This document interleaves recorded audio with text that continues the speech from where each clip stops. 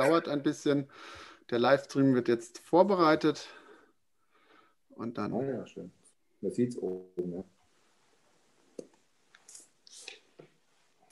Gut, noch, noch kurz warten. Das ist jetzt, ähm, das wird acht Sekunden verzögert sein. Dauert ein bisschen. Ja. Der Livestream wird jetzt vorbereitet.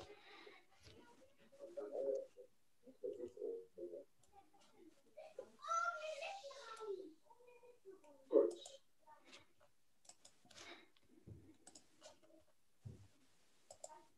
Gut, dann warten wir noch kurz. Ich gucke. Dann können wir beginnen. Los.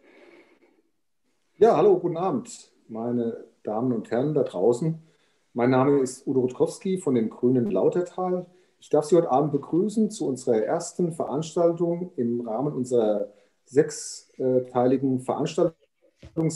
Äh, heute geht es speziell um das Thema Naturschutz. Dazu haben wir uns zwei Referenten dazu geholt. Ich möchte aber kurz vorab vorstellen, wie die Veranstaltung heute läuft. Wir haben das als Webinar gestaltet, damit keine ähm, größeren sagen wir, technischen Störungen auftreten können. Das heißt, Sie können teilnehmen, proaktiv, interaktiv über den Chat. Oben rechts gibt es eine kleine Funktion mehr. Wenn Sie da drauf gehen, haben Sie eine Chat-Funktion. Dort können Sie Ihre Fragen einbringen und entsprechend senden. Und unser Host am heutigen Abend ist der Olaf Hayes, ebenso von den Grünen ähm, der sozusagen in den Chat reinblickt und uns dann entsprechend auch die Fragen reingibt. Ähm, gedacht ist es so heute vom Agendaablauf, dass Sie da einen entsprechenden Überblick haben zur Veranstaltung, dass wir ähm, als erstes beginnen. Wir haben ja die Themen Landschaftspflegeverband und Klimafaktor Wald. Dazu haben wir heute zwei Referenten und gedacht ist es so vom Agendaablauf, dass der Martin Scharschmidt beginnt mit seinen Vortrag uns entsprechend äh, Bilder zeigt und dazu kurz kommentiert, so als äh, Eingangsstatement, so als ähm, entsprechender Einstieg ins Thema. Und dazu können Sie dann bitte auch gleich dann Ihre Fragen in Chat stellen, Verständnisfragen, die wir dann entsprechend auch gerne nochmal kurz beantworten. Wird so ein circa zehnminütiger ähm, Start sein. Im Anschluss daran ist dann unser zweiter Referent, der Martin Bertram, dran der sozusagen das Thema Klimafaktor Wald heute mit einbringt und dazu entsprechend auch uns einen spannenden Bildervortrag mitgebracht hat als Eingangs-Kick-Off ähm, ähm, sozusagen. Und dann können Sie auch dann entsprechend Ihre Fragen dazu stellen. Und im Anschluss daran, im dritten Teil, gehen wir dann in eine gemeinsame Diskussion über. Es gibt sicherlich anhand dieser, ähm, diese, dieser Vorträge auch Fragen von Ihrer Seite, auch, auch äh, vertiefende Fragen. Und äh, heute Abend dabei ist auch äh, seitens des Bergstädter Anzeigers eine Redakteurin, die Frau Haas. Herzlich willkommen, Frau Haas, in unserer Runde. Wir freuen uns, dass der BA praktisch auch da jemand zu uns geschickt hat. Vielleicht auch als Start nochmal zur, zum politischen Hintergrund ähm, für diejenigen, die das vielleicht nicht so ganz verfolgt haben. Dieser Landschaftspflegeverband ist in, in der, an der Bergstraße angedacht, geplant und bei der gestrigen ähm, äh, Gemeindevertreter Parlamentssitzung gab es ja entsprechend zwei Anträge dazu von der CDU und von den Grünen, hier beizutreten. Es gab dann auch einen Beschluss, das entsprechend an den Umweltausschuss ähm, zu, ähm, weiterzuleiten zur weiteren Diskussion. Aber man hat sich spontan dazu entschieden, tatsächlich ähm, eine Absichtserklärung ähm, auch entsprechend abzustimmen. Und diese Absichtserklärung, dem Landschaftspflegeverband beizutreten, wurde mit äh, großer Mehrheit zugestimmt. Insofern sind wir da jetzt sozusagen fast schon in den Startlöchern drin dazu zu dem Thema. Und dazu begrüßen wir heute Martin Scharschmidt. Martin Scharschmidt ist in der seltenen Lage, neben seinem Beruf äh, sein Hobby auch noch sozusagen äh, in die gleiche Richtung betreiben zu dürfen. Er ist nicht nur der Praktiker aus dem Rhein-Neckar-Kreis, der das Thema Landschaftspflegeverband dort mit betreut, sondern auch mit mit Teilnehmer der Biodiversitätskonferenz, die jetzt ja diesem Jahr mit unter Carsten Krugler zum zweiten Mal schon stattgefunden hat hier im Kreis und auch ein Mitstreiter für das Thema, der das Ganze voranbringen will, der hier auch heute Abend als sozusagen in, in ehrenamtlicher Tätigkeit ähm, diesem Thema ähm, äh, Leben einhaucht und aber äh, auch als Lautertaler dann sozusagen direkt aus nächster Nähe äh, entsprechend uns berichten kann. Und ich würde sagen, Martin, wenn du magst, kannst du dich gerne auch nochmal selbst vorstellen, kurz, wenn es noch was äh, vorzustellen gibt. Ansonsten kannst du gerne jetzt mit deinem Vortrag beginnen. Ähm, ich hoffe, man hört mich gut. Ähm, vielen Dank für die, für die einleitenden Worte. Ähm, wie schon gesagt, mein Name ist Martin Scharschmidt und freue mich, dass ich heute mal den Landschaftserhaltungsverband vorstellen kann oder darüber berichten kann, weil hier ja die Gründung eines Pflegeverbandes hier im Kreis Bergstraße diskutiert wird. Ähm, und ich nehme da als Ehrenamtlicher eben an der ja, Arbeitsgruppe teil, die diesen Pflegeverband dann in die Wege leiten soll. Und zum anderen eben im Rhein-Neckar-Kreis bin ich seit 2013 als stellvertretender Geschäftsführer vom Landschaftserhaltungsverband Rhein-Neckar tätig. Und sagen wir, in dieser Kombination ja, fände ich es gut, wenn so ein Pflegeverband bei uns auch kommen würde, weil ich aus meiner beruflichen Praxis halt einfach weiß, was so ein Verband machen kann. Und auf der anderen Seite hier im Laudertal viele Sachen sehe, die meiner Meinung nach dringend ja, angegangen werden sollten oder viel Potenzial einfach auch da ist, was für die Landschaft und für die Natur auch zu machen. Dann würde ich mal versuchen, meinen, ähm, meinen Vortrag vorzustellen. Das scheint zu funktionieren. Genau, und gerade hier noch ein bisschen aufräumen auf meinem Bildschirm. So. Genau, im Wesentlichen möchte ich einfach mal vorstellen, was so ein Landschaftspflegeverband, wo diese Idee herkommt oder auch die Initiative herkommt, was es eigentlich ist, wozu man so einen Landschaftspflegeverband braucht. Dann möchte ich einfach ein paar Praxisbeispiele aus meiner Arbeit zeigen äh, vom Rhein-Neckar-Kreis. Was sind die Vorteile, wer profitiert von so einem Pflegeverband? Dann habe ich mir mal Gedanken gemacht, welche Projekte theoretisch so ein Pflegeverband auch in Lautertal angehen könnte dann noch einen kurzen Ausblick geben möchte, äh, wie es da weitergehen soll. Woher kommt die Idee des Landschaftspflegeverbandes? Ähm, die Idee solcher Pflegeverbände, die ist schon relativ alt. Die kam 1986 in Bayern auf und im Kreis Bergstraße kam sie zuletzt auf in der Biodiversitätskonferenz, die im Januar 2020 stattgefunden hat. Und ja, da wurden verschiedene Arbeitsgruppen gegründet und ja, überwiegend war dann eben die Forderung, dass so ein Pflegeverband bei uns im Kreis gebraucht wird, um die Biodiversität einfach voranzubringen. Da wurden verschiedene Arbeitsgruppen gegründet. Ähm, die Arbeitsgruppe Landschaftspflegeverband, die leitet der Volker Knau. Und es wurden verschiedene ja, Wünsche geäußert, dass eben die Zusammenarbeit zwischen den Landwirten, Naturschutz und Kommunen verbessert werden soll, dass Fördermittel in Zukunft nicht ja, an dem Kreis vorbeigehen sollten, sondern eben für Naturschutzprojekte, Landschaftspflegeprojekte genutzt werden sollen. Und da kann eben auch so ein Pflegeverband gut unterstützen. Und man hat sich eben darauf geeinigt, eine Infoveranstaltung zu machen zu dem Thema, einfach ja, das bekannter zu machen und die Vorzüge auch aufzuzeigen. Und äh, es sollten Gespräche mit Gemeinden stattfinden, einfach um da vielleicht auch ja, Vorbehalte oder Bedenken gegenüber so einem Verband eben auch abzubauen.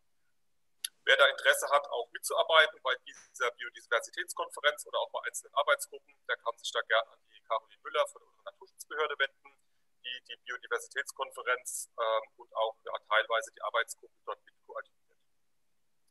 Was ist überhaupt ein Pflegeverband, ein Landschaftspflegeverband? Das ist ein freiwilliges Bündnis, in dem Vertreter von Kommunen, Landwirtschaft und Naturschutz gleichberechtigt zusammenarbeiten. Das heißt, der Vorstand ist gleichberechtigt aus den verschiedenen Vertretern der Kommunalpolitik, Landwirtschaft und Naturschutz besetzt. Und man begegnet sich da auf Augenhöhe und es werden halt ja, im, Konsens Projekte vorangetrieben und umgesetzt und ja, einfach miteinander gearbeitet. Das sind gemeinnützige Vereine, also keine behördlich, haben keine behördlichen Befugnisse. Das ist ja auch so ein ja, Argument, was manchmal rumgeistert. Also es sind wirklich gemeinnützige Vereine, aber sie zählen zu den bevorzugten Umsetzungsorganen für Naturschutz und Landschaftspflege gemäß dem Paragraph 3 des Bundesnaturschutzgesetzes, haben also auch gewisse ja, Kompetenzen und ähm, sind auch gut vernetzt, sodass dort Synergieeffekte geschaffen werden.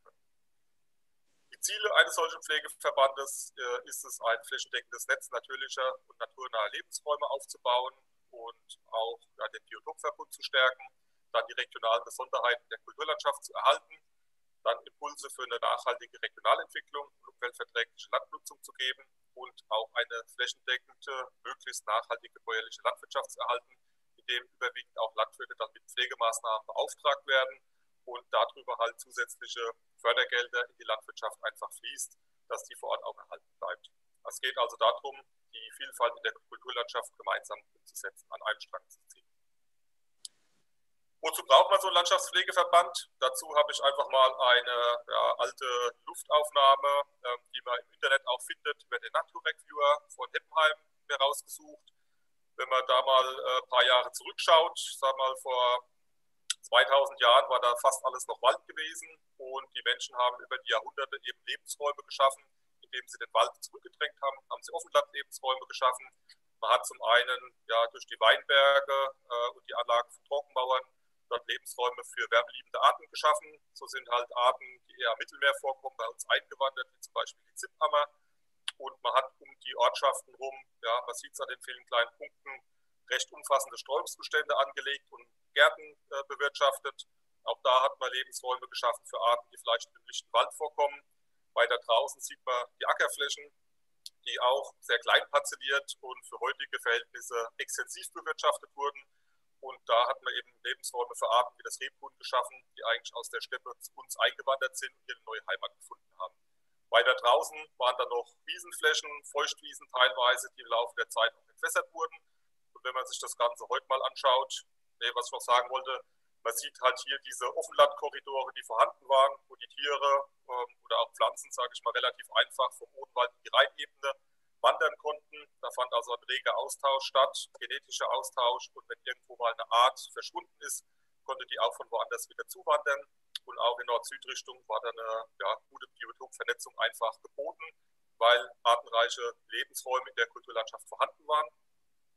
Wenn man sich das Ganze heute mal anschaut, dann sieht man am rechten Bildrand, dass mittlerweile vieles auch zugewachsen ist an den Weinbergen, die Verbuschung einsetzt. Natürlich wurde auch die Landwirtschaft oder auch der Weinbau teilweise intensiviert, aber man sieht vor allen Dingen auch, dass eben die ehemaligen Sträubsbereiche alle überbaut wurden und auch die Ackerschläge mittlerweile größer sind und damit natürlich auch Lebensräume verloren gehen und auch ein Austausch der Arten vom Odenwald in die Rheinebene oder auch Nord-Süd-Richtung für manche Arten ja unmöglich ist, für manche erschwert ist. Vögel können da noch relativ gut drüber fliegen, bei Amphibien wird es da schon schwerer. Und deswegen ist es, denke ich, wichtig, ähm, dass man sich solche Flächen, die vielleicht zugewachsen sind oder verloren gegangen sind, aber noch ja, der Natur zur Verfügung stehen, genau anschaut und überlegt, was man da machen könnte, um den Biotopverbund einfach bei uns wieder zu stärken. Und jetzt könnte man sagen, was interessiert uns, uns Heppenheim? Ähm, ich habe jetzt nochmal ein paar Luftbilder aus dem Lautertal äh, bei, äh, in die Präsentation eingefügt. Habe hier unten in der Mitte das Rathaus von Elmshausen markiert, oben links den Strieteich und rechts oben Tempel, der, die Pappenfabrik. Und auch hier sieht man entlang von der B47 teilweise ausgedehnte Wiesenbereiche, auch hier Richtung Strieteich. Man hat die Streuobstbestände, ähm, die klein parzellierten Ackerflächen. Auf dem Bildausschnitt ist jetzt relativ wenig Wald zu sehen. Und man kennt auch um die Ortschaft rum diese Streuobstbereiche äh, oder auch Gartengrundstücke, sodass auch hier nördlich und südlich der Nibelungenstraße oder auch über die Straße ein guter Austausch der Arten möglich war.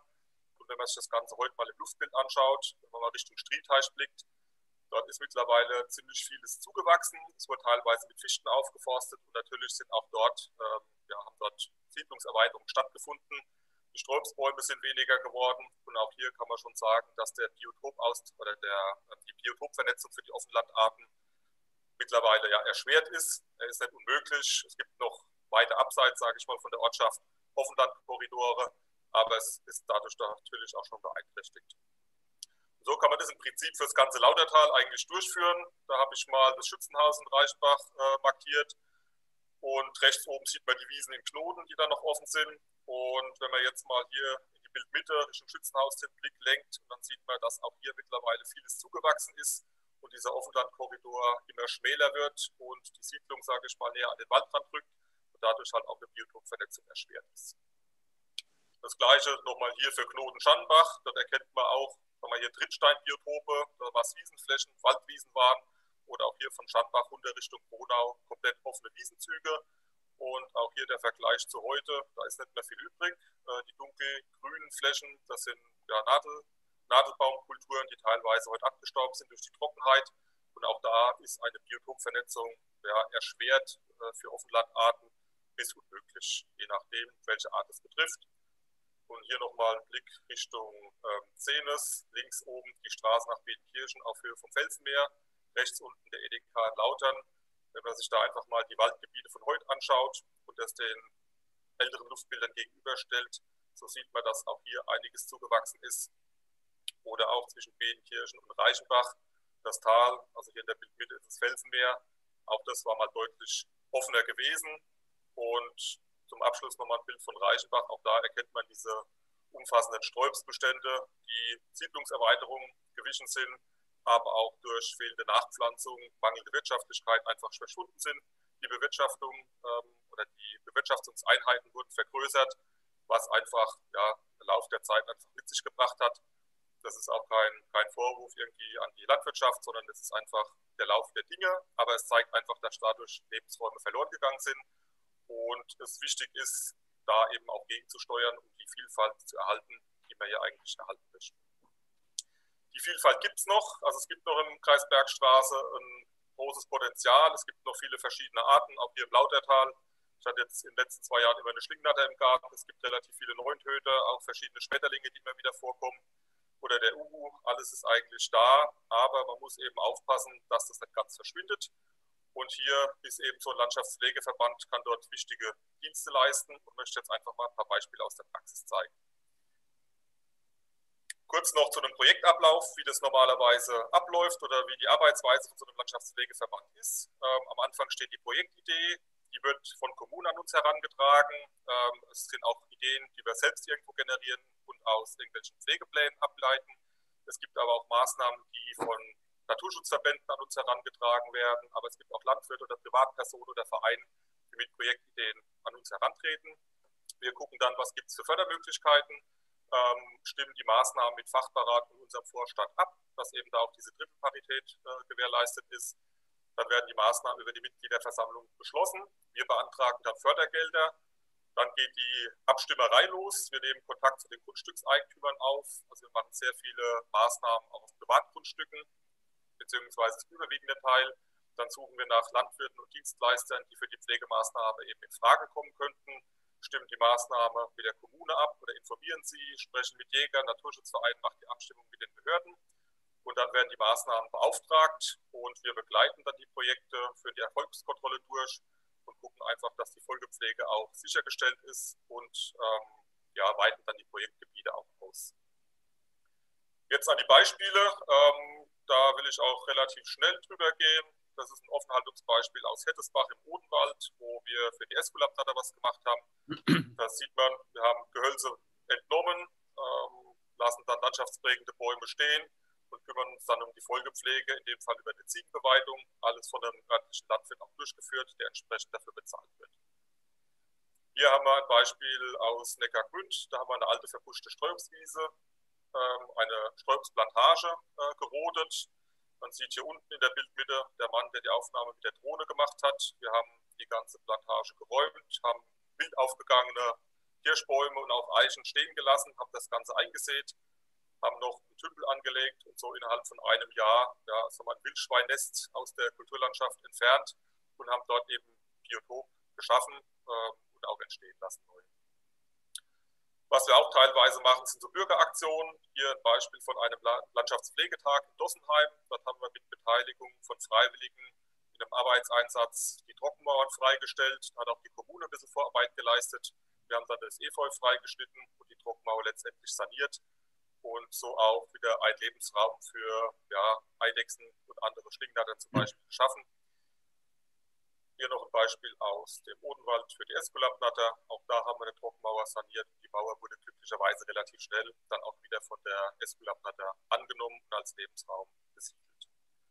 Dann im Odenwald ist die Offenhaltung von Waldwiesen ein wichtiges Thema. Das ist eine Waldwiese in Dossenheim, die teilweise am Zuwachsen war. Auch die haben wir freigestellt, ähm, damit einfach diese Offenlandlebensräume erhalten bleiben. Dann war noch so ein Fichtenriegel mitten auf der Wiese, der auch diesen Lebensraum der Waldwiese unterteilt hat. Auch da haben wir mit Privateigentümer gesprochen. Er war mit einverstanden. Wir haben jemanden bezahlt, der die Fichten gefällt hat. Er hat das Holz bekommen. Und ähm, so haben wir wieder eine durchgängige Waldwiese. Und uns ist dadurch natürlich dann, würde ich sagen, auch eine Aufwertung vom Landschaftsbild gelungen. Das ist ein Beispiel aus Wilhelmsfeld im Odenwald. Da hatte uns die Gemeinde kontaktiert. Sie haben Probleme mit Wildschwein im Ort. Ähm, der Jäger kann da nicht schießen, weil er nichts sieht. Wir haben dann geschaut, haben festgestellt, das liegt im Natura 2000 Gebiet konnten Fördermöglichkeiten besorgen, haben dann die Fläche entbuscht. Nochmal eine andere Ansicht von dieser Fläche. Auch da sieht man, da ist langsam der, der Wald auf dem Vormarsch. Da haben wir die Fläche freigemacht, haben Tümpel angelegt und die wird jetzt von einem Landwirt, der auch die Erstpflege gemacht hat, einfach ähm, wieder bewirtschaftet. Da werden spezielle Mahlzeitpunkte eingehalten wegen dem Wiesenknopfameisenbläuling. Und auch hier hat sich dann das Problem mit den Wildschweinen ja, erledigt und auch das Landschaftsbild wurde aufgewertet. Und hier weitere Bilder von Wiesentälern. Das ist jetzt ein Beispiel aus ähm, dem Gammelsbachtal, also südlich von Gammelsbach auf Eberbacher Gemarkung. Auch da waren hektarweise Flächen am Zuwachsen. Und auch da haben wir Landwirt beauftragt, die Flächen wieder frei zu machen und zu bewirtschaften, um einfach die Offenlandlebensräume dort zu erhalten und auch eine Biotopvernetzung zu gewährleisten. Meine Kollegin ist noch, ähm, also ich bin für Bergstraße und Rotwald zuständig, meine Kollegin äh, für die Rheinebene. Da nur ein Beispiel. Dort macht sie seit äh, drei Jahren ein umfangreiches Rebhutschutzprojekt. Dort werden spezielle Blühmischungen ausgesät, die dann teilweise als Brachfläche über den Winter stehen bleiben, um dem Rebhuhn auch Deckung zu bieten. Und da wurden, meine ich, so knapp 60 Hektar mittlerweile angelegt, die dann auch über mehrjährige Verträge gesichert werden und das sind dann alles ja, Landwirte, die diese Maßnahmen umsetzen, die entsprechend das Ganze vergütet bekommen. Und das ist auch ein Kooperationsprojekt, was mit den Jägern stattfindet. Ansonsten machen wir noch Umweltbildungsprojekte äh, mit Strömspädagogen, die wir ausgebildet haben in drei Jahrgängen. Das sind dann Privatpersonen, die den Lehrgang besuchen und dann mit den Schulklassen raus, raus auf die Strömswiese gehen. Wir machen jährlich Nisthilfenaktionen, wo wir für mehrere tausend Euro auch Nisthilfen besorgen und die an Naturschutzverbände oder auch an Kommunen weitergeben. Und wenn Corona nicht wäre, würden wir jährlich Bauhofmitarbeiterkurse machen. Da haben wir schon Obstbaumschnittkurse gemacht oder auch zur ja, Pflege von kommunalen Grünflächen. Also gibt es verschiedene Themen, die wir dann unseren Mitgliedskommunen auch immer anbieten. Das kurzer Ausblick aus meinem beruflichen ähm, Bereich und was sind die Vorteile von so einem Pflegeverband und wer profitiert davon? Ich denke, Kommunen bekommen mit so einem Landschaftspflegeverband einen kompetenten Ansprechpartner, für alle möglichen Naturschutzfragen. Gerade auch für Kommunen, die vielleicht keinen Umweltberater haben, ist das, denke ich, äh, eine gute Möglichkeit. Dann hat ein Pflegeverband immer in der Regel einen guten Überblick über die vorhandenen Fördermittel, sodass man auch da beraten kann und der Fördermittel für Kommunen ähm, ja, akquirieren kann. Man kann gemeinsam mit den Kommunen Landschaftspflegemaßnahmen umsetzen, auch Öffentlichkeitsarbeit betreiben, äh, Bürgeraktionen wie der Landschaftspflegetag in die Wege leiten, wie ich gezeigt hatte das Landschaftsbild auch erhalten und aufwerten, was dann natürlich auch als Standardfaktor wichtig ist, denke ich. Und auch zu Ausgleichsmaßnahmen kann ein Pflegeverband beraten. Das ist immer so ein bisschen, je nachdem, wie das in der Satzung geregelt ist. Es gibt auch Pflegeverbände, die dann gegen Bezahlung auch die Ausgleichsmaßnahmen Umsetzung durchführen. Aber das hängt einfach von Verband zu Verband ab, weil da auch die Unterschiede oder die, die Schwerpunkte unterschiedlich gesetzt werden können. Dann für die Landwirtschaft äh, bedeutet so ein Pflegeverband oder kann ein Pflegeverband Zusatzeinkommen durch äh, ja, Landschaftspflegemaßnahmen bedeuten. Auch die Landwirte kann man mit oder über Fördermittel beraten, wie man zum Beispiel die Bewirtschaftung anpassen kann, zum Beispiel Altgrasstreifen stehen zu lassen auf einer Wiese und den Landwirten aufzeigen, was es da für Fördermöglichkeiten gibt, um diesen Verlust, sage ich mal, auch auszugleichen, dem der Landwirt entsteht.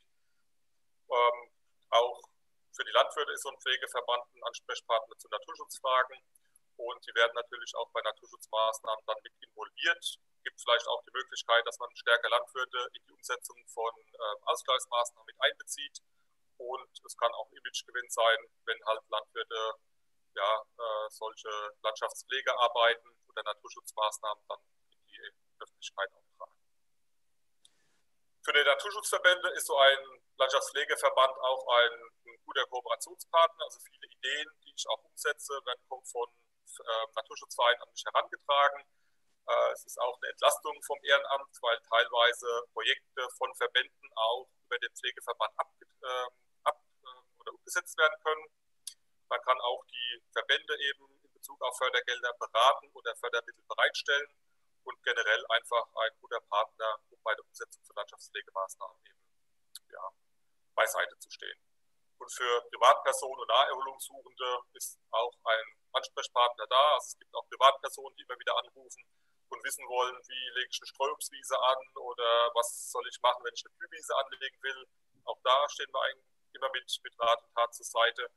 Und natürlich profitieren auch Privatpersonen ja, von, einem auf, von einem attraktiven Landschaftsbild für die Naherholung oder einfach auch als, ja, als ähm, ja, Wohn Wohnumgebung.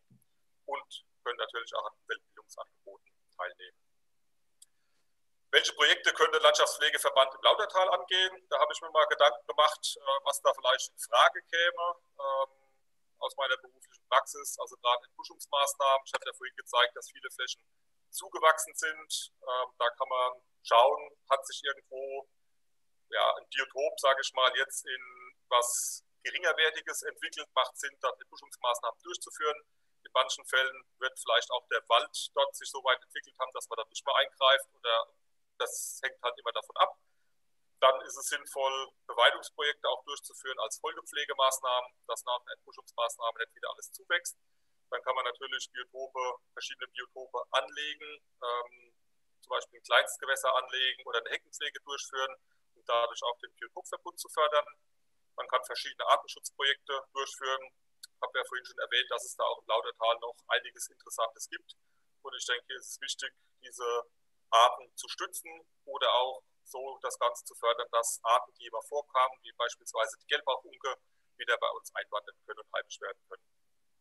Und äh, man kann natürlich auch ehemalige Grünlandflächen, die jetzt mit Fichten aufgeforstet wurden ähm, und die Fichten mittlerweile abgestorben sind, auch da gibt es Möglichkeiten, über Naturschutzmittel solche Flächen wieder in Grünland umzuwandeln, um Offenlandkorridore oder auch Sichtachsen frei zu machen. Wenn ich draußen spazieren gehe, sieht man oft irgendwelche Bänke, die mitten im Wald stehen, wo man sieht, aha, da war mal ein schöner Ausblick gewesen, äh, der mittlerweile im Laufe der Zeit einfach zugewachsen ist. Oder auch Frischluftschneisen kann man dadurch wiederherstellen, was im Zuge vom Klimawandel, denke ich, auch ganz wichtig ist.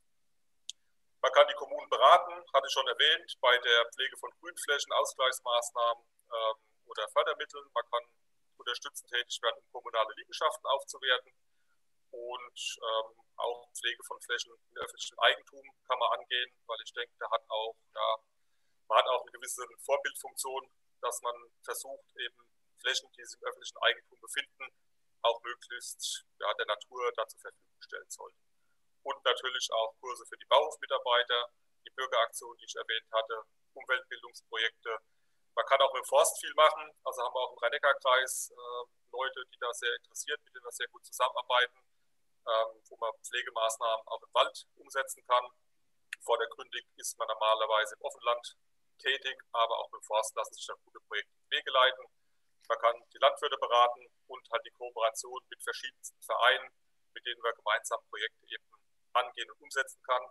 Und auch das Thema Öffentlichkeitsarbeit ist, denke ich, wichtig, dass man für, den, ja, für die Kulturlandschaft sensibilisiert, auch darauf hinweist, wie sich die Landschaft verändert um hier einfach in Zukunft ein Bewusstsein zu schaffen, dass man mit dem, was man hier vor Ort hat, auch pfleglich umgeht. Wie geht es nun weiter? Ähm, also aufgrund von der Arbeitsgruppe, ähm, das, die der Carsten, äh, die, die ähm, der Volker Knaub leitet, sind wir momentan dabei, ähm, als Ehrenamtliche hier einfach Werbung zu machen für den Landschaftspflegeverband. Wir versuchen allen Beteiligten hier die Vorteile aufzuzeigen anhand von Maßnahmenbeispielen und der Volker Knaub ist auch dabei, eine Satzung entsprechend vorzubereiten, um auch die Gründung äh, weiter voranzubringen. Er ist dabei, ein Finanzierungskonzept aufzustellen. Und dann muss natürlich ein, ja, der, der Vorstand und der Beirat besetzt werden. Und nach der Kommunalwahl, wenn alles klappt, soll dieser Pflegeverband dann eben gegründet werden. Und wer da nähere Infos braucht, der kann sich da auch gerne an Volker Knaub wenden, der wie gesagt der Leiter dieser Arbeitsgruppe ist. Ja, und zum Abschluss in der Presse hat man auch schon das eine oder andere lesen können. Da sieht man einmal, dass eben aus der Diversitätskonferenz heraus der Wunsch kam, dass dieser Pflegeverband gegründet werden soll. Ich habe gefunden, dass die Kreiskoalition auch schon 25.000 Euro eingestellt hat, um ja, diesen Verband dann gründen zu können. Und auch aus verschiedenen Kommunen, Biblis, Einhausen, Dorsch, Stadt Bensheim, da gibt es Anträge oder auch schon ja, Beschlüsse, dem Verband, der gegründet werden soll, beizutreten. Und auch im ja, Lautertal gab es ja gestern zwei Anträge, die besprochen wurden. Also auch da stehen die Zeichen ganz gut, dass so ein Pflegeverband kommt. Eingangs hatte ich erwähnt, dass die Idee der Pflegeverbände äh, 1986 in Bayern äh, entstand. Das ist schon ja, 35 Jahre her, hat lange gedauert. Ich würde mich freuen, wenn so ein Pflegeverband auch bei uns im Kreis Bergstraße gegründet wird, weil es hier viel zu tun gibt und es sich wirklich lohnt. Und ich denke, es ist nie zu spät für Landschaftspflege und auch für so einen Landschaftspflegeverband. Und wie gesagt, würde mich freuen, wenn das klappt. Dann vielen Dank für die Aufmerksamkeit und würde dann entweder zu Fragen zur Verfügung stehen oder dann wieder zurückgeben an den Moderator. Ja, vielen Dank, Martin Scharschmidt, für den sehr lebendigen Vortrag. Und äh, du hast tatsächlich auch schon äh, Rückfragen zu deinem Vortrag gehabt. Wir haben hier zwei, jetzt mittlerweile sogar drei äh, äh Diskussionsteilnehmer, die sich eingeschaltet haben. Eine Fragestellung war, äh, das machen wir vielleicht an der Stelle gleich, eine Fragestellung war, das war natürlich durch diese plakative Darstellung der Fotos von vor 40, 50 Jahren und heute das Thema letztendlich, was spricht dagegen, wenn äh, sich äh, die Offenlandschaft verändert mit Wald? Ist der Wald äh, das schlechtere Biotop? Also auch da mal vielleicht was zu, zu sagen, was ist vielleicht der Unterschied in der Qualität? Und natürlich auch das Thema, ähm, ist das tatsächlich als, als wird es als, als negativ gesehen, wenn sich aus einer Offenlandschaft ein Wald entwickelt? Ähm, was mir vielleicht auch dazu auch was sagen kannst. Ähm, denn man glaubt natürlich auch, dass durch den Landespfle äh, Landschaftspflegeverband nicht unbedingt der Flächenverbrauch durch Bebauung gestoppt werden kann. Man muss natürlich dann immer gucken, wie die Abwägung in der Politik ist. Was ist dann in dem Fall wichtiger? Ja, es ist ja schon ein Thema mit dem Flächenverbrauch, was in der Politik angekommen ist. Und das andere war doch mal, dass auch die Landwirte, Landwirte wurde hier natürlich gesagt, durch die Greening-Auflagen verpflichtet sind, ihre Flächen in einem guten Zustand zu halten und insofern äh, auch dafür ja auch EU-Agrarsubventionen erhalten. Insofern denke ich, muss es, muss es eigentlich von der Natur her so sein, dass die Leute auch entsprechend ähm, die Flächen entsprechend ähm, frei halten und bewirtschaften. Das waren so die ersten zwei Fragen. Nachher komme ich noch ein bisschen was äh, zu einer weiteren äh, Teilnehmerin. Vielleicht kannst du dazu was sagen, weil du hast es ja so plakativ dargestellt mit Wald, weniger Wald und ja.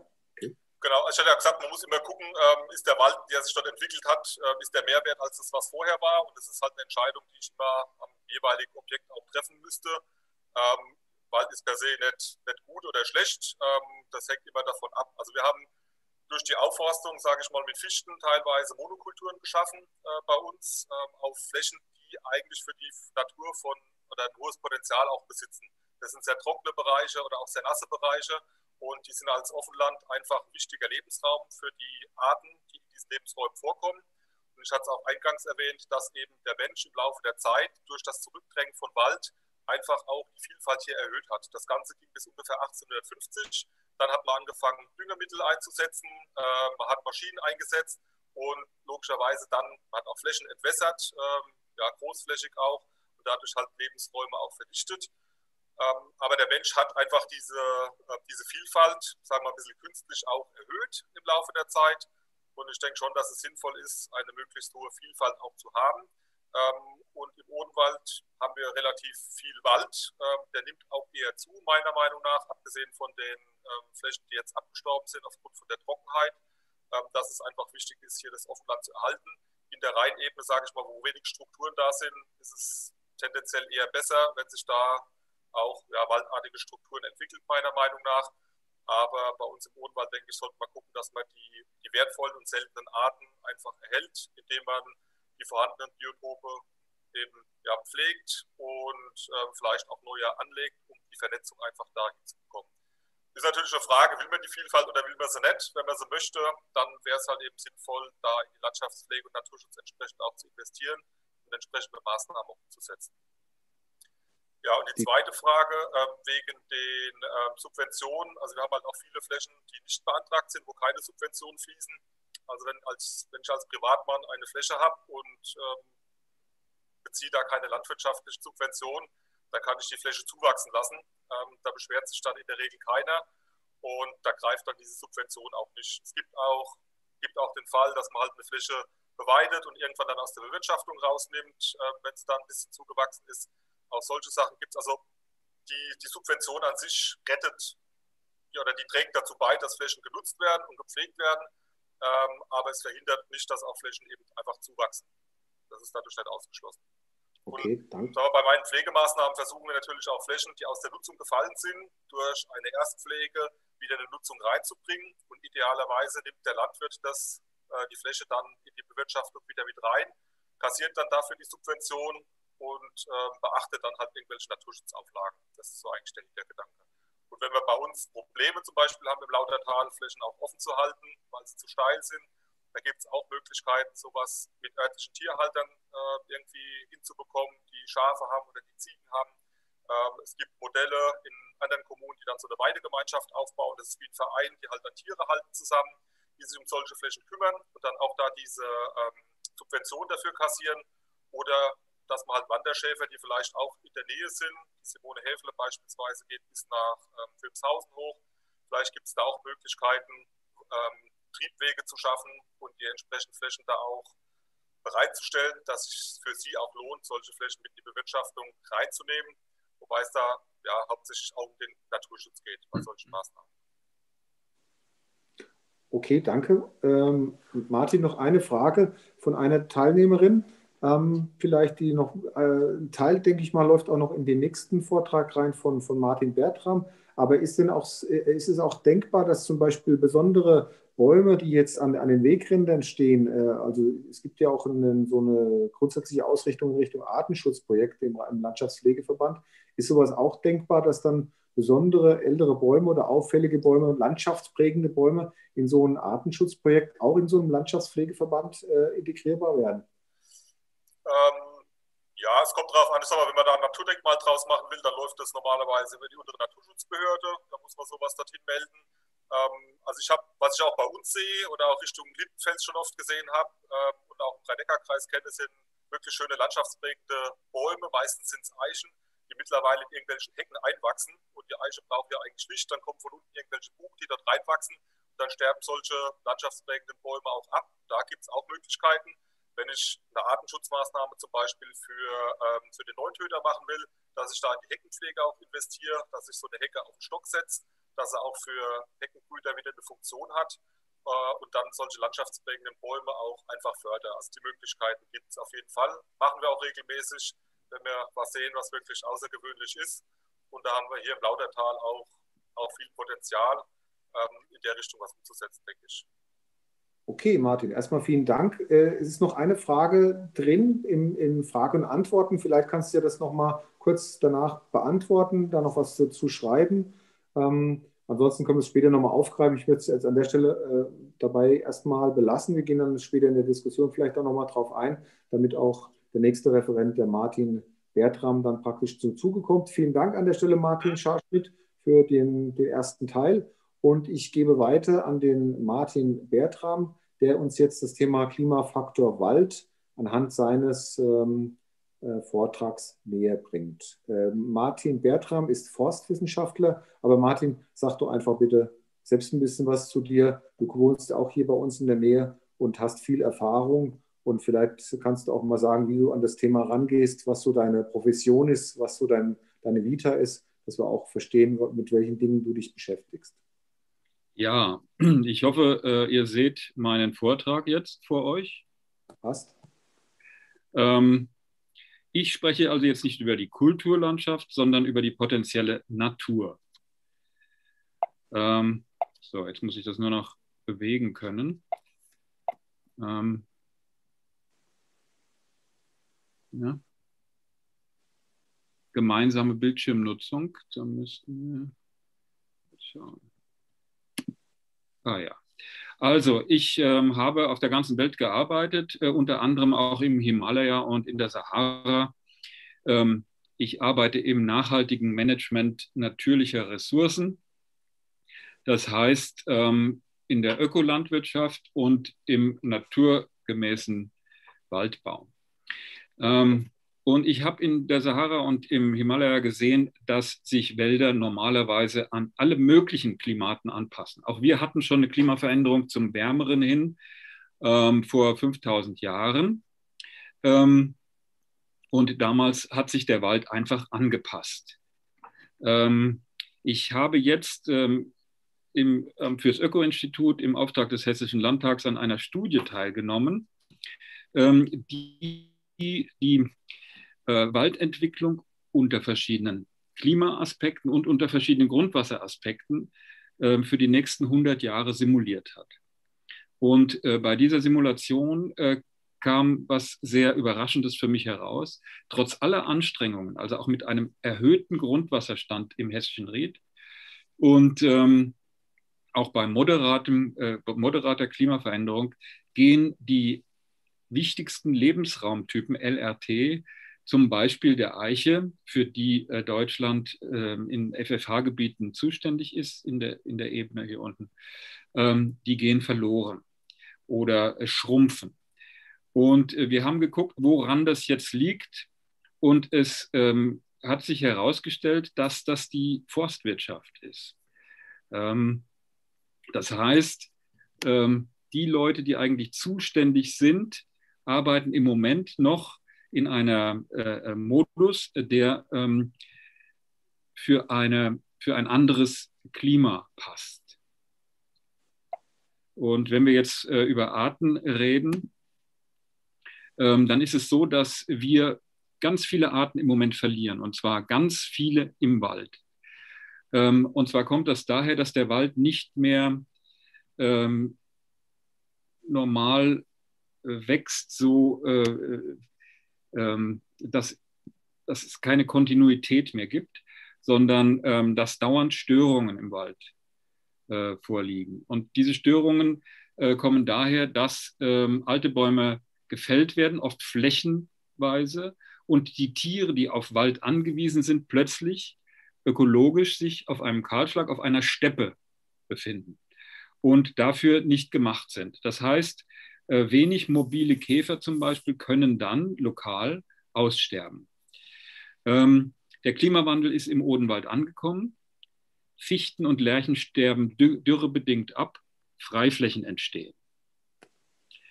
Ähm, die Buchenbestände sind durch Schädigungen anfällig geworden und Randbäume von Lichtungen sterben ab. Das heißt, einmal Licht reingelassen, sterben die Nachbarn dann sukzessive auch ab. Das ist also quasi ähm, ein Teufelskreis. Ähm, ein Teil der Bestockung kann aber gerettet werden und wir werden schauen, wie wir das äh, hinkriegen. Wir sehen hier ähm, die Grenze von Südhessen. Hier hinten ist der Main und hier ist Lautertal. Wir sehen, dass im Jahr 2018 ähm, eine außergewöhnliche Dürre hier bestanden hat. Das heißt wesentlich weniger Regen und auch der Boden, auf dem die Bäume stocken, ähm, keine Feuchtigkeit mehr hergegeben hat. Seitdem sind drei Jahre vergangen, fast vier, und ähm, die Situation ist schlimmer geworden. Äh, ähm, das bedeutet, dass nicht standortgemäße Baumarten wie die Fichte absterben, ähm, was nicht unbedingt schlimm ist. Die Natur schüttelt einfach das Nicht-Passende ab. Schlimm ist nur, wenn es oben abstirbt und unten nichts nachkommt, ähm, dann entsteht Steppe und dann geht dieses potenziell natürliche ähm, Biotop beziehungsweise dieses Ökosystem kaputt. Und wenn wir ähm, die Fragestellung nach dem Klimafaktor Wald hören, dann ist der Wald ähm, einerseits ein Klimamacher, indem er den Regen in küstenferne Gebiete zieht und indem er äh, die Luftfeuchtigkeit moduliert und ähm, Grundwasser schafft und reinigt.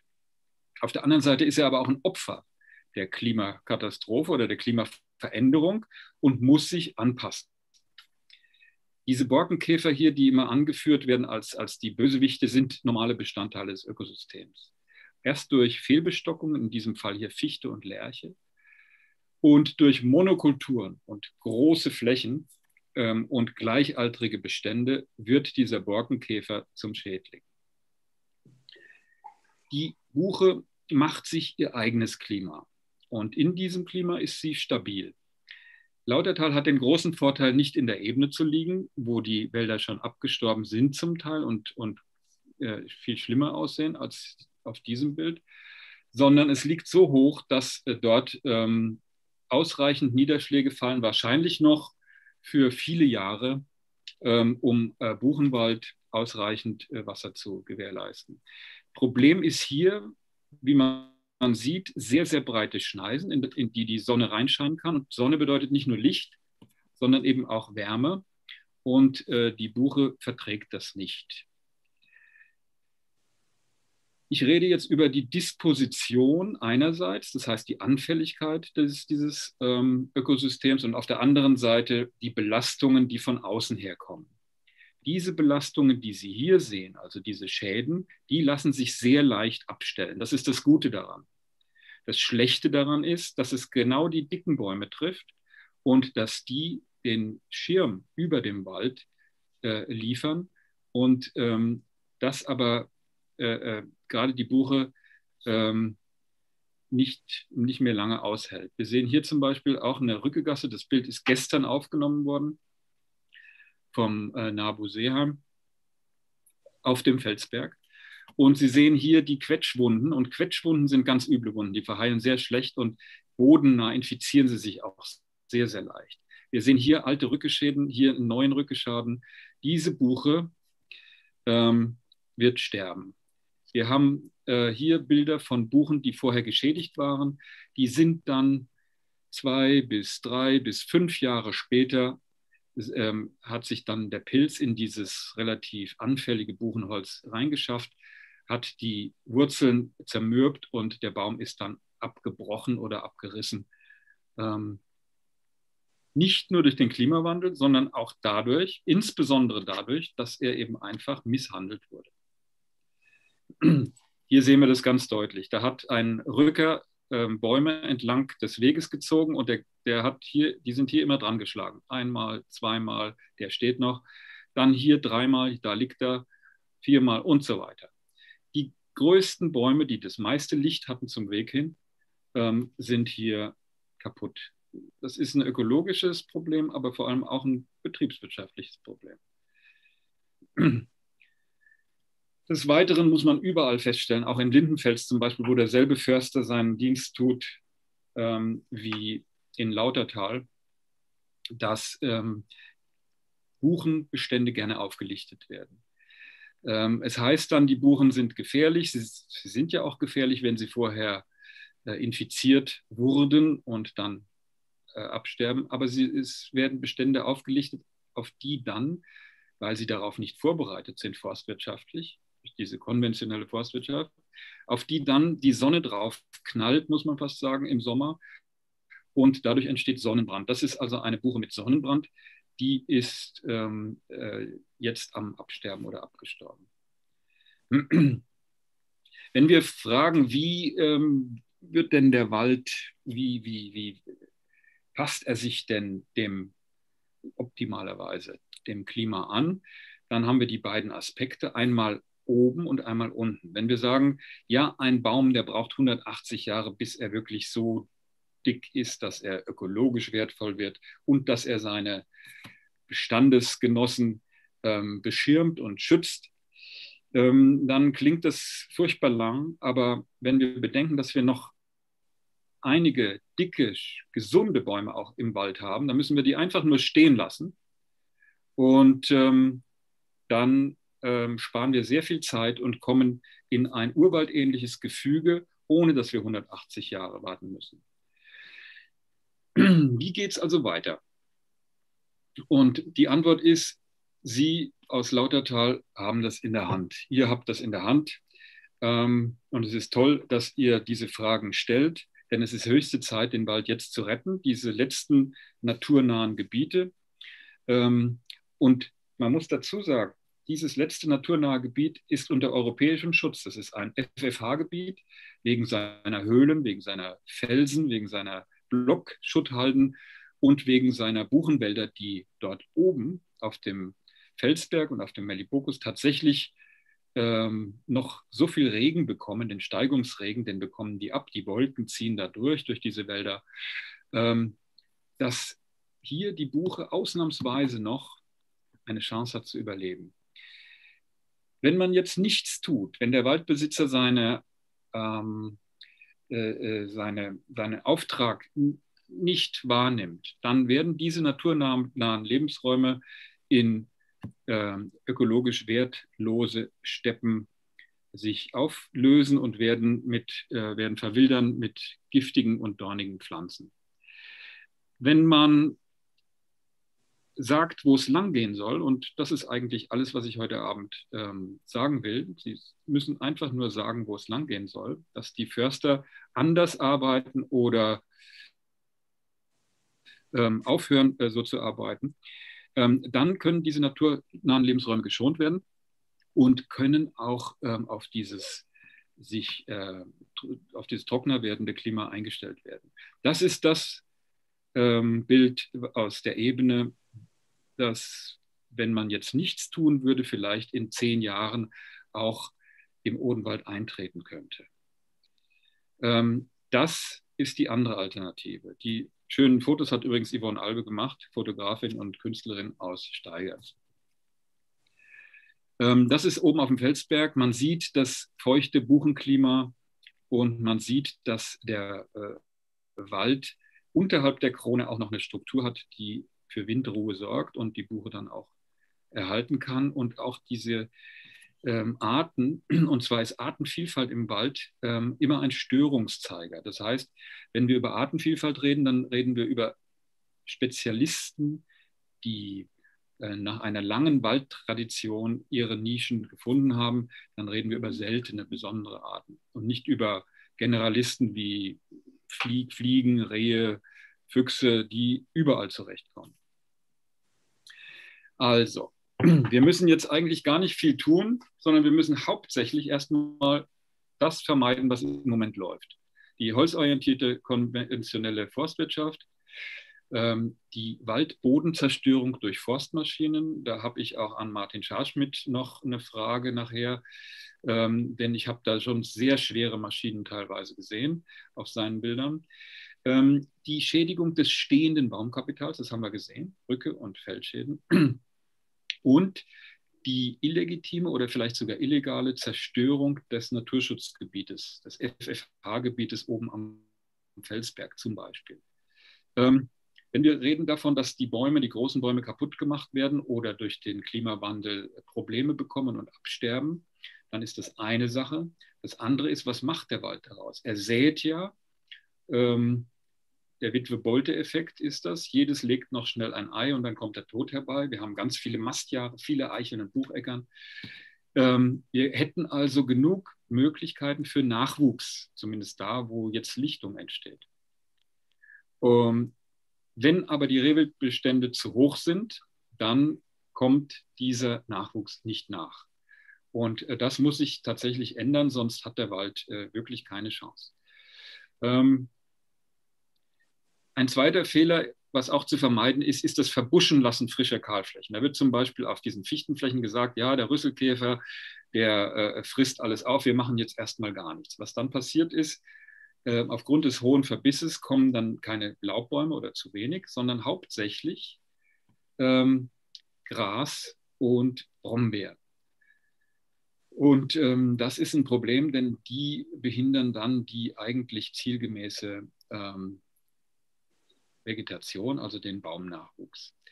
Was noch verhindert werden kann, ganz einfach, ist keine Douglasie und Küstentanne, keine Roteiche aus Amerika pflanzen, sondern Bäume, die mit großer Trockenheit und mit der Trockenheit der nächsten Jahre zurechtkommen. Also nicht so. Ähm, was also ist zu tun? Wir haben schon gehört, Buchenbestände dicht halten, Forstwirtschaft umstellen. Das ist ihre Aufgabe. Wenn sie den Wald erhalten wollen, dann ist das die Aufgabe, die Forstwirtschaft umzustellen. Dürreresistente Bäume fördern und schützen. Das ist insbesondere in den tiefer gelegenen Lagen, in den Randlagen, also dort, wo es wärmer ist, unterhalb des Felsberges. Neue Bäume einbringen, die ausgestorben sind. Ähm, wir sind im Moment dabei, zum Beispiel Speierlinge und ähm, Elsbeeren, die schon lange nicht mehr nachwachsen, auch weil sie verbissen werden, ähm, nachzuziehen. Dankenswerterweise hat uns Martin Scharschmidt da einen Erntebaum zur Verfügung gestellt. Und wie gesagt, die Rehwildbestände müssen dezimiert werden. Das heißt, Ökosystemmanagement statt konventionelle Holzwirtschaft. So, das sind nochmal Bilder dazu. Das Waldklima. Das ist ein Idealbild, so soll es aussehen, wenn irgendwo eine Lichtung entsteht. Hier ist die alte Mutterbuche geerntet worden oder umgefallen. Und was entsteht, je mehr Licht, desto höher sind die Bäume. Hier am Rand sind sie etwas kleiner. Das ist ein sogenannter Femel.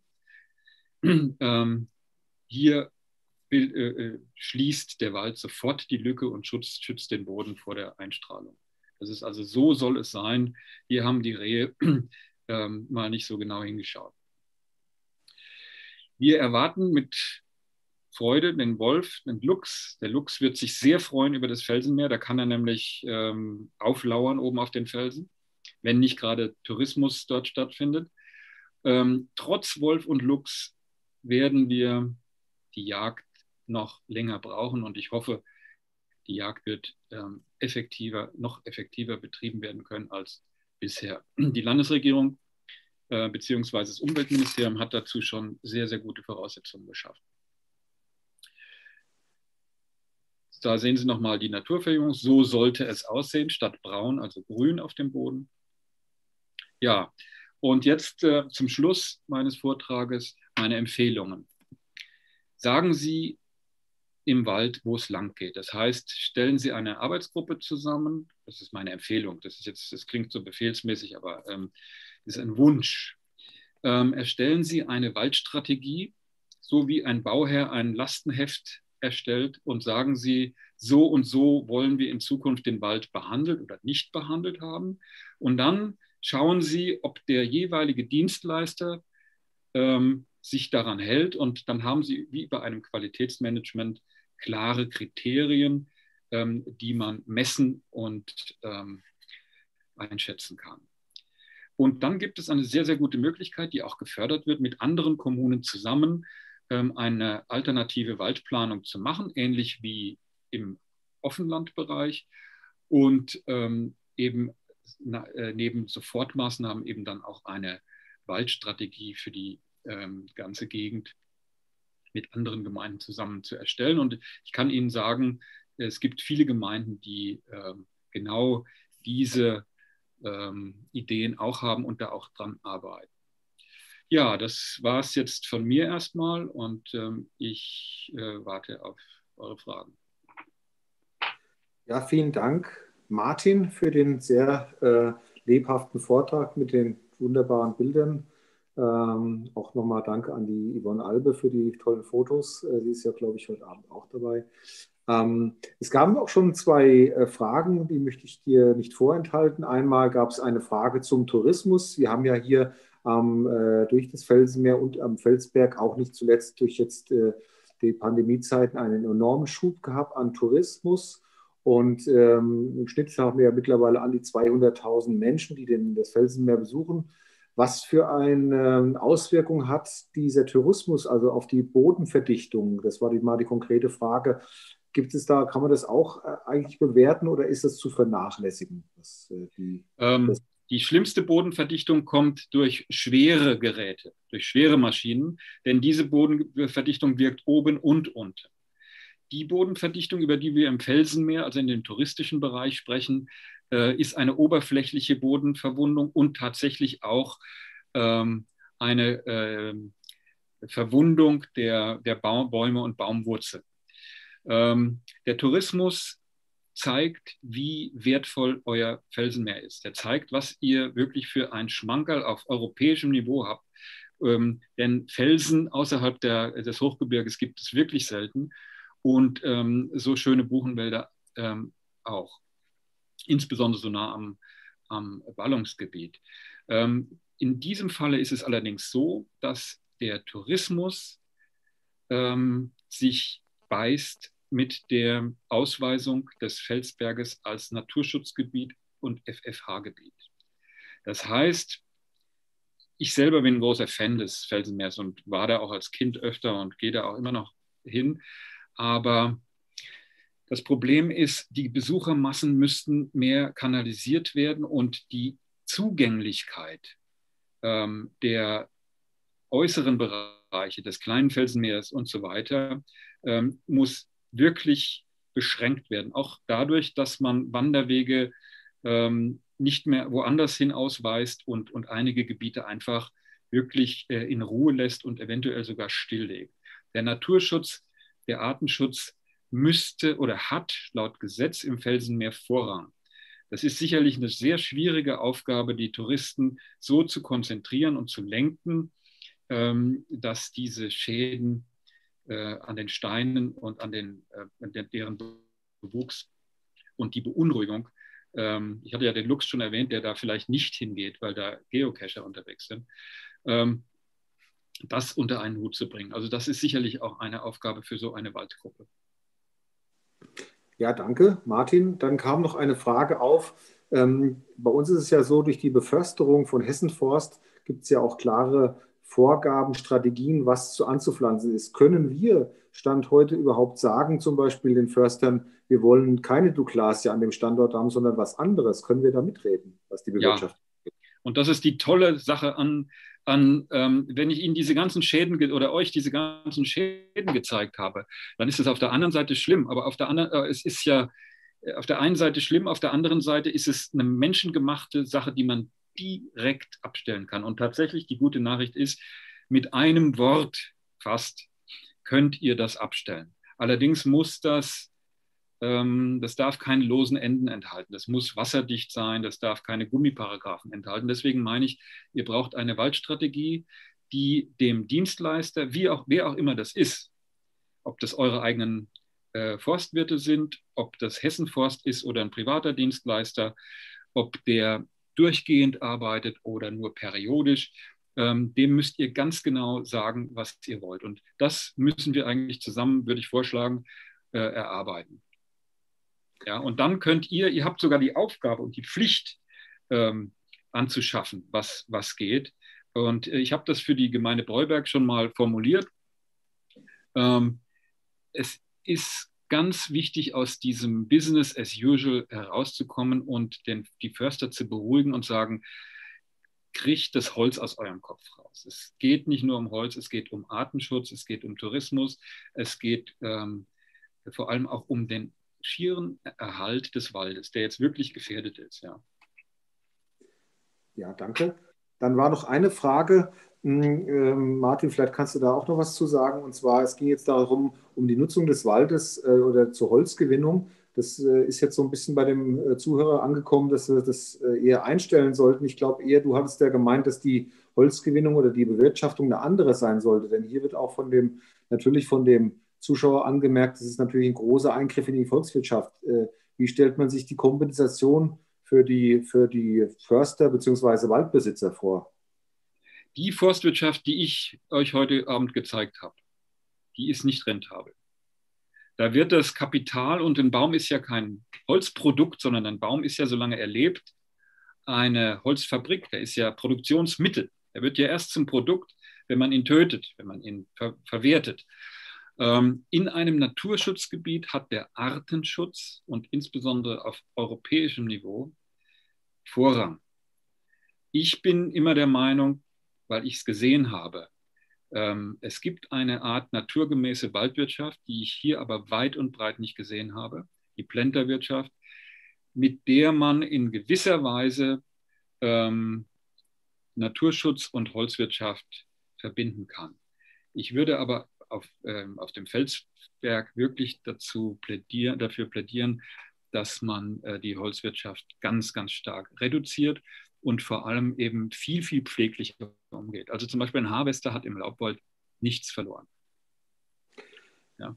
Die haben ja tatsächlich im Augenblick im Felsberg oder überhaupt in, der, der Wald ist ja ein wichtiger Faktor für die Gemeinde Lautertal, sag ich mal, für die politische Gemeinde ist ja ein großes, äh, großer Besitzer von Wald.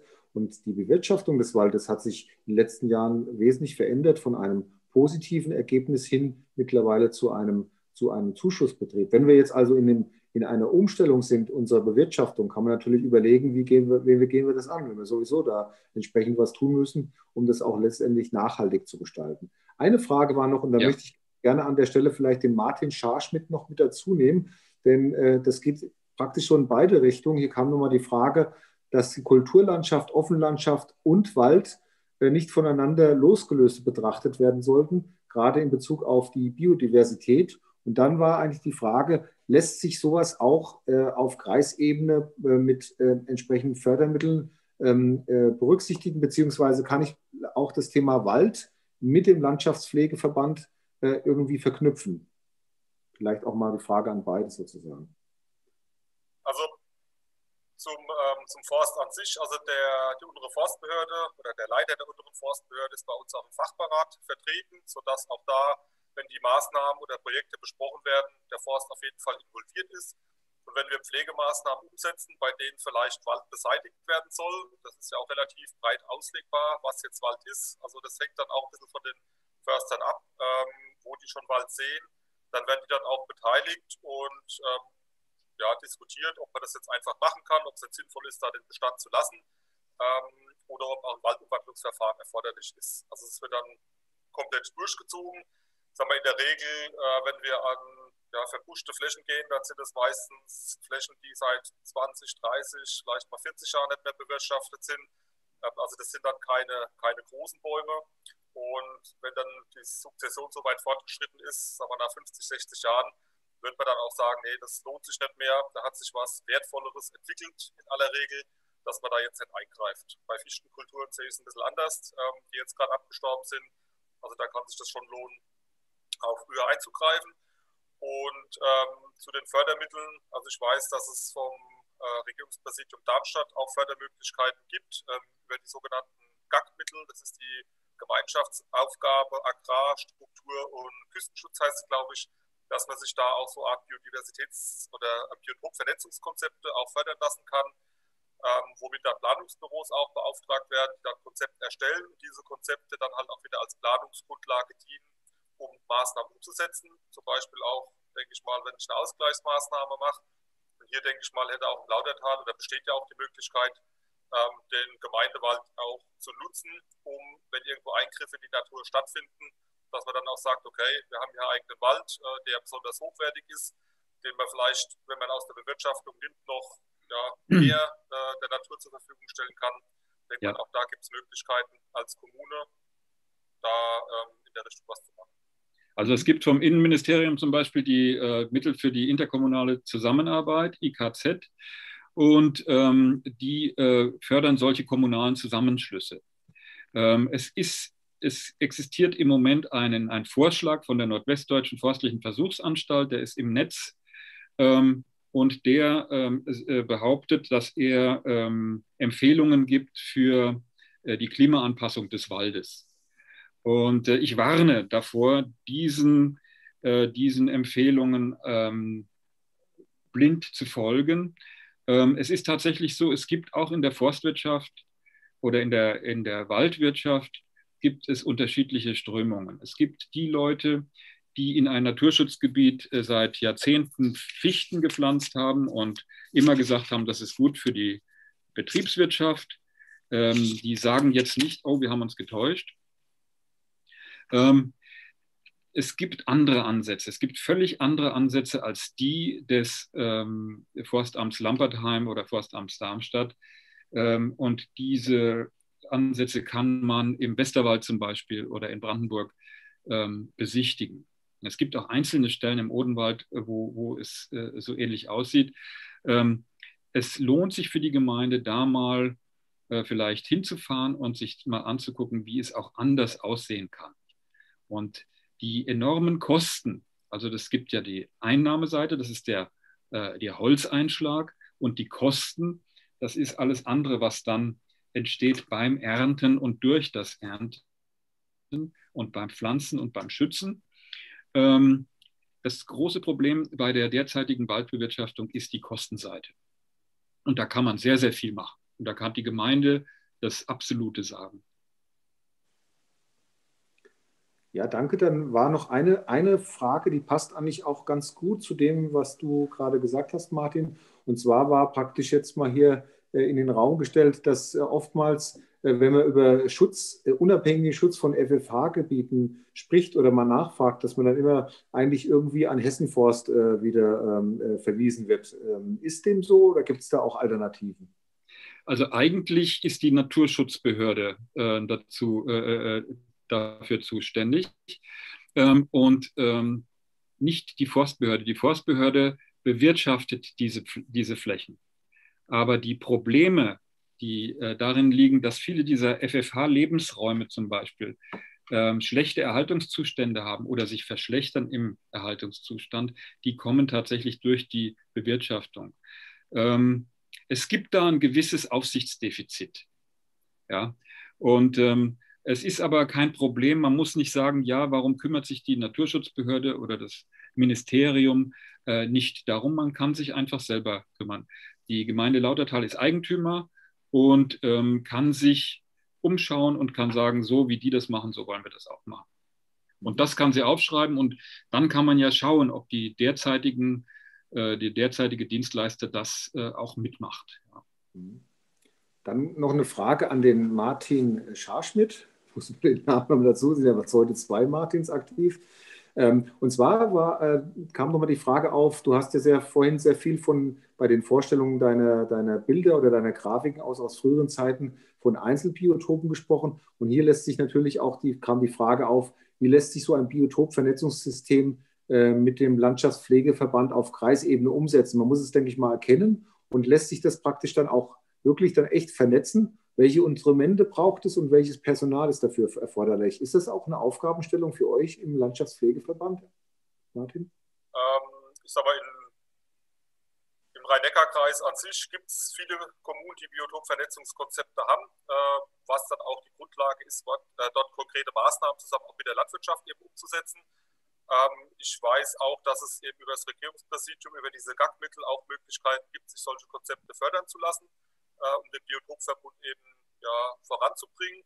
Und da sehe ich schon die Möglichkeit, wenn hier so ein Verband gegründet werden sollte, dass dann auch so ein Landschaftspflegeverband gemeinsam mit der Kommune da vielleicht einen Antrag stellt. Erstmal guckt, was gibt es für Fördermöglichkeiten, gemeinsam einen Antrag stellen und das dann auch als Förderkulisse dient, um konkrete Maßnahmen umzusetzen.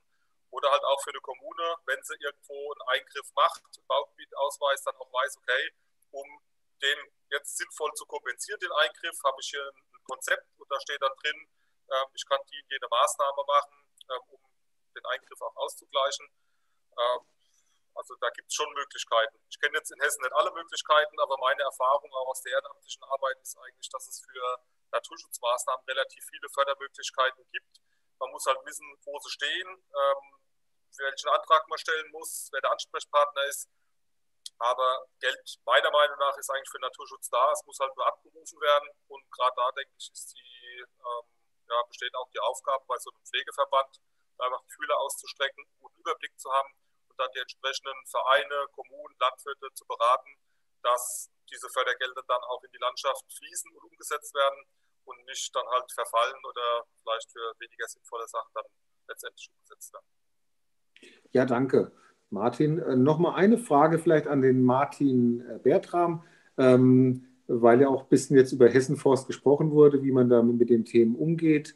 Ähm, gibt es Beispiele von Hessenforst als Dienstleister, die sich auch praktisch für alternative Beforstungs- oder Beförsterungsmethoden an der Stelle geöffnet haben?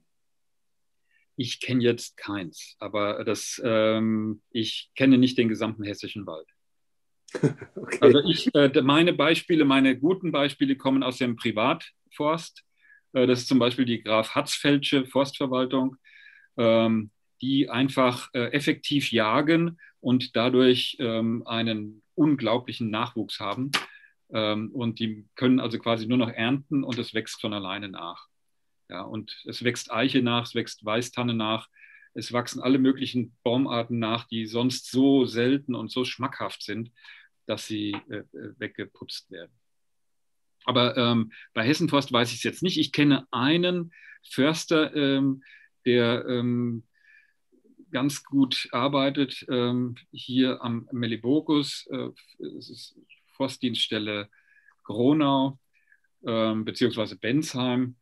Ähm, ich kann aber also noch nicht sagen, dass das die Wälder sind unbedingt. Ich habe allerdings einige Stellen gesehen, die wirklich sehr, sehr gut äh, geworden sind.